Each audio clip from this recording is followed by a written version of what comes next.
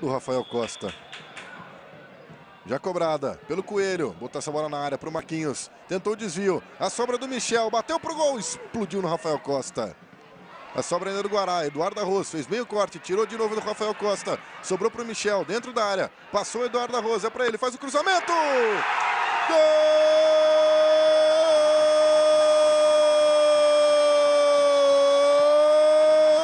do Guaratinguetá.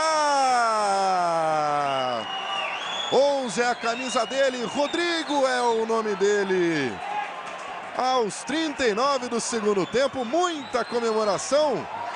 Depois da jogada do Michel, belo passe para Eduardo Arroz. E aí, o Rodrigo só de peito para cumprimentar.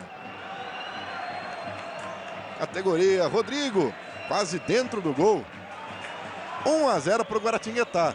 Eu só fiquei em dúvida se ele estava à frente da linha da bola. Para mim, foi um gol ilegal que ele estava à frente da linha da bola.